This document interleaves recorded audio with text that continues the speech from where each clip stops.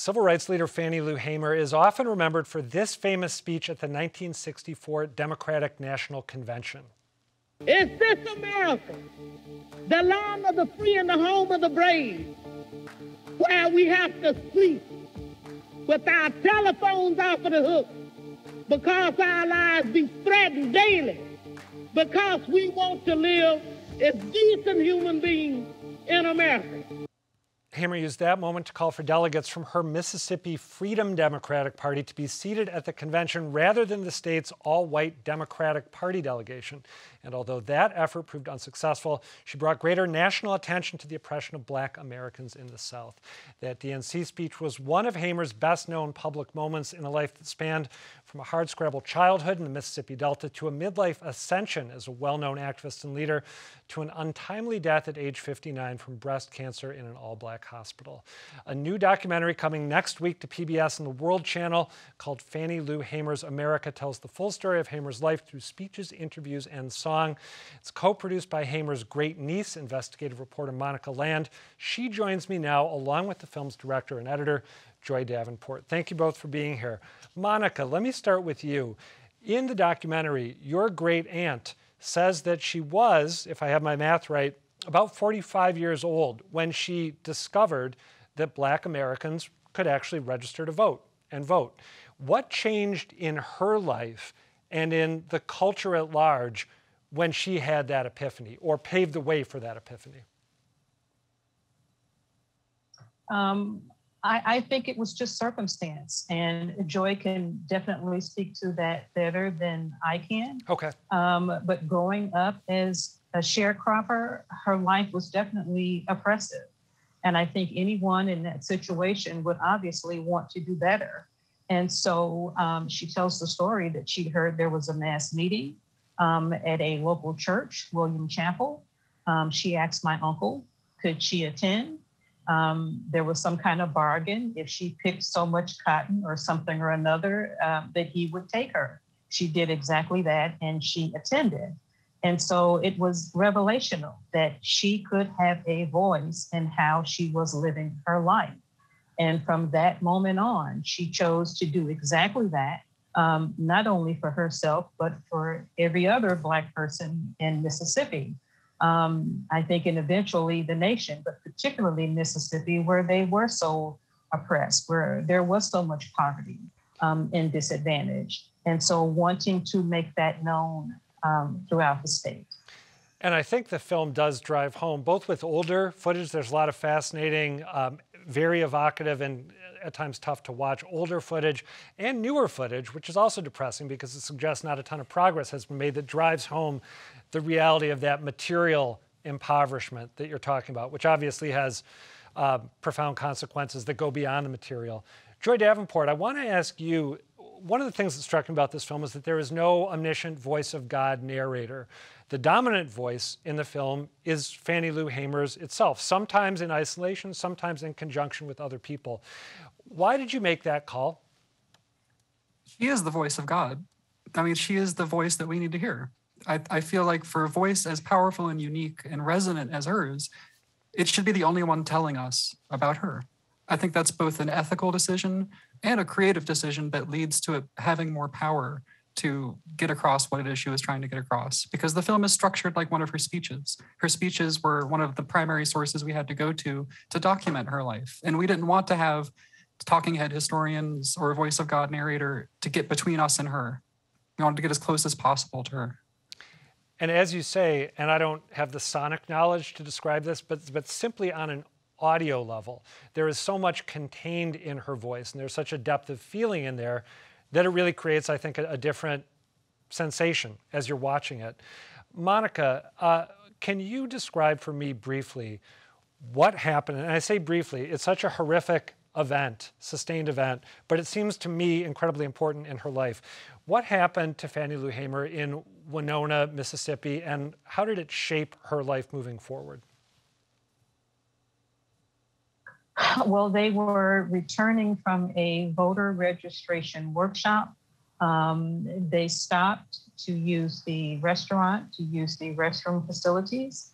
Um, and one of the often misconceptions that we hear is that Aunt Fannie Lou also went into the restaurant, and that is incorrect. She actually stayed on the bus. Which we hear and her so say in the when film. When they went into this restaurant, exactly, exactly. Um, but it's it has been printed or uh, continued to be repeated that she was in the restaurant and she was not.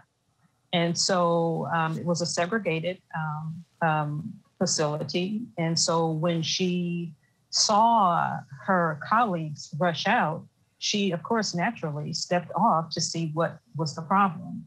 And one of her colleagues told her to, to get back on the bus. And as she did that, of course, she was taken into custody. One of the law enforcement officials said, Get that one there. And so they um, arrested her, put her in the car. She tells the story, and she was arrested. And it was, uh, I'm positive that I can say, as it would be for anyone, particularly a 44 or 45 year old woman, to be beaten um, with such um, um, force, um, it, it, it, it, was traumatic. Um, it was an experience that she never forgot. It had long lasting emotional, mental, and physical ramifications. And so, but she was able to use that. A great deal of her testimony um, at the Democratic National Convention was spent talking about that very experience. And I may note, um, I don't know if it uh, was added in the final cut or not, that you know there were there were charges brought, there was a trial, but there was an all-white jury, and um, no one was held accountable for that situation. They beat several people, including a 15-year-old girl, um, and no one was uh, held accountable for it. And so something like that, you know, you think about today the aggression we see with people with Black Lives Matter when police are found or acquitted because of a particular crime, the rage that it evokes from the public. Um, and Fannie Lou had to deal with that, and she used it throughout her career. It's an almost when you when you get into the details of it, I, it, I found myself wondering how she lived I mean, how she was physically able to survive and then to move on from it. But she did move on. As you said, she bore witness in this incredibly powerful way in a number of settings. She ran for Congress. Uh, she was active in trying to shake up the Democratic Party, providing an alternative to the exist- existing racist structure. At the end, or toward the end, of her civil rights activism, there's a moment that's highlighted in the film that points to a bigger dynamic when Roy Wilkins, the very well known civil rights leader, speaks to her dismissively, basically says, You're not what we're looking for in the movement anymore, and it's time for you to bow out. Joy Davenport, can you explain why someone like Roy Wilkins would have been so dismissive of Hamer? So this is something that continues today. This isn't unique to the historical moment, but there was a kind of respectability politics in play where she wasn't the face of the movement that they wanted to promote. They called her uneducated. They said that she didn't understand, she was ignorant of how things really were. And they wanted to get her out of the spotlight because the thing is, once she starts speaking, it's hard not to listen. And they, they found that she was getting attention that they wanted to be directing towards other things. And it was disruptive of the plans of the institutionalists like Roy Wilkins, for her to come with her Mississippi Freedom Democratic Party and say, hold on now, none of this is right. Like, we got to just start from the ground floor if we're going to get this right. And that's not how the institutionalists of the time were trying to promote the movement. So she was in many ways beset from all sides because the people who she was working with in some ways didn't support her, and the people she was working against definitely did not support her. I should have mentioned at the outset that her speech at the DNC was so threatening to various people that, if I recall correctly, President Lyndon Baines Johnson preempted it, held a speech of his own to distract from this address that she was giving. Am I getting that right? Yeah, well, he kind of Streisand affected it Correct. because mm-hmm. uh, originally, like, yeah, she was giving her speech and people were watching it, and he didn't like that, so he called a primetime address to announce like today's Thursday or whatever. And because of that, the other networks were like, well, we need to show the whole speech. And so it ended up getting more attention because he got spooked by her. Monica Land, we only have a few seconds left, but as her descendant, her relative, what do you think the lesson of Fannie Lou Hamer's life is for people today and, as you said, for activists today? Um, resilience. Um, you know, I, I, I love the fact that she was a common person. And I think that's what made her so effective and so popular people often can't relate to someone that has does not have shared experiences and so because she came from you know um, the cotton field was a sharecropper her life was a life of poverty And so she could relate to people like no one else of that stature could.